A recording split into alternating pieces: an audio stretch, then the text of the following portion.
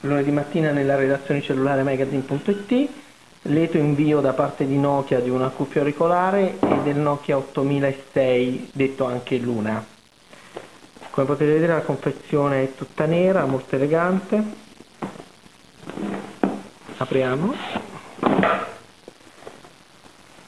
Il life motive dei terminali di fascia alta del produttore finlandese. Il cellulare come si può vedere già la trasparenza tutto in nero alquanto pesante batteria classica BP 5M di Nokia cuffia stereo con jack da 2.5 mm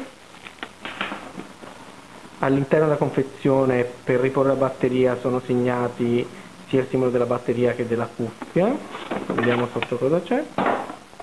Cd installazione del Nokia Suite opuscolo del terminale.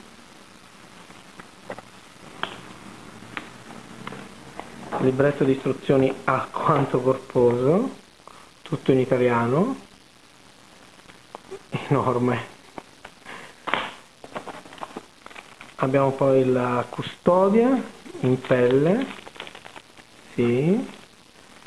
la pezzolina per pulire il telefono la custodia in pelle calamitata molto carina. Abbiamo ancora il laccetto per appendere il telefono tutto in metallo. Adattatore al vecchio caricabatterie di Nokia alla nuova porta micro USB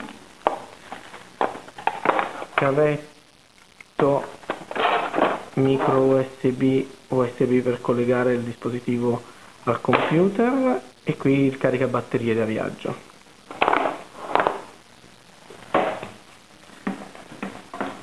Accendiamo il terminale.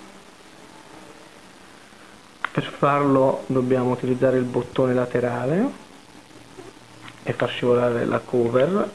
Questa in acciaio infatti è molto pesante come potete vedere tutto il terminale è rifinito egregiamente. Inseriamo la sim. Facile inserimento. La batteria. Cominciamo a far partire l'accensione.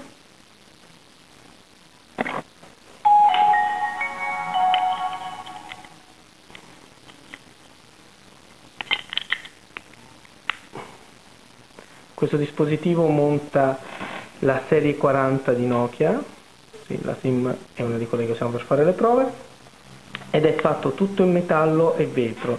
Infatti sia la parte del display che quella che copre i tasti sono in vetro, solidissimo a quanto dice il produttore finlandese, quindi non c'è da preoccuparsi in caso di cadute o di graffi.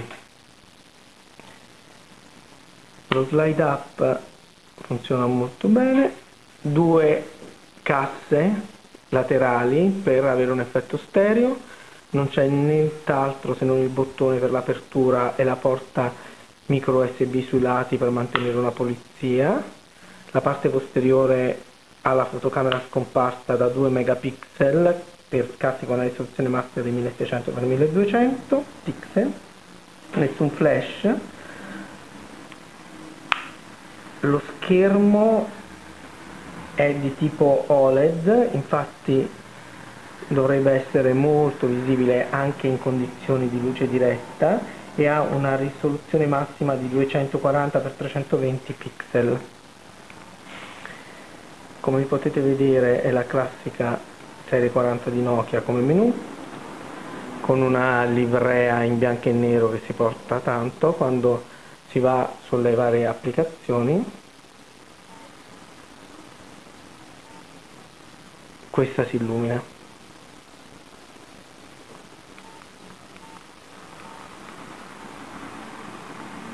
abbiamo selezionato l'applicazione fotocamera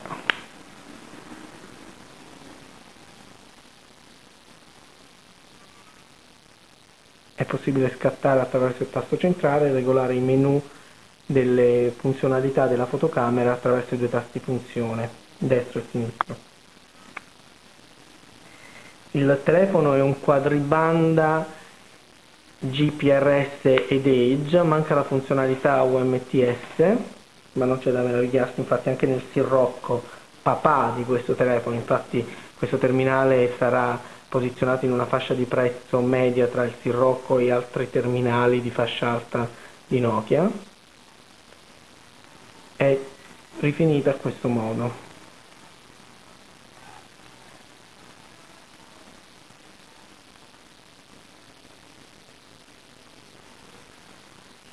Non ci sono plastiche, tutto in acciaio, metallo e vetro, i tasti sono comodi, facilmente digitabili.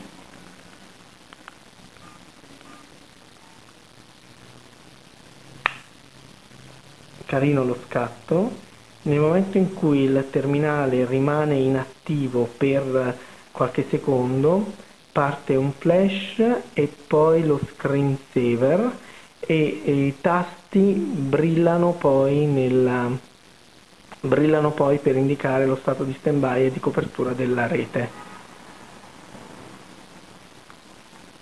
Infatti ora non è coperto perché la nostra scheda non è attiva e quindi non bippano.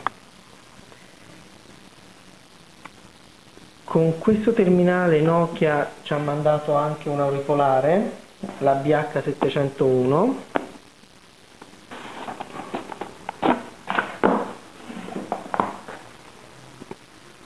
questo cerchietto di metallo serve a tenere l'auricolare vicino all'orecchio in caso di caduta, ma una volta infilato l'altoparlante nell'orecchio non ci dovrebbe essere alcun problema di sorreggimento. Non è velluto, è plastica. Troviamo poi l'adattatore USB molto elegante e comodo.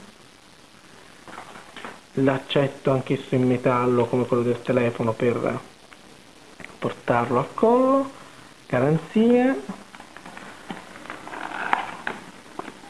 la definizione del prodotto e il libretto di istruzioni. Il eh, Nokia 8006 Luna dovrebbe arrivare sul mercato entro ottobre in Italia ad un prezzo ancora da definire, ma sicuramente sarà decisamente più basso del Sirocco che costa oltre 1000 euro.